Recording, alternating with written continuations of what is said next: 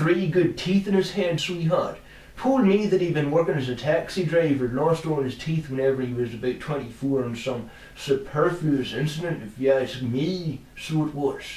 And uh, he had been eating a hot dog in this taxi in an alleyway, so it was. And he always said that he took his teeth out to eat, and he put his teeth into the wrapper of the hot dog, and he was eating the hot dog, and he got a call to go and pick someone up.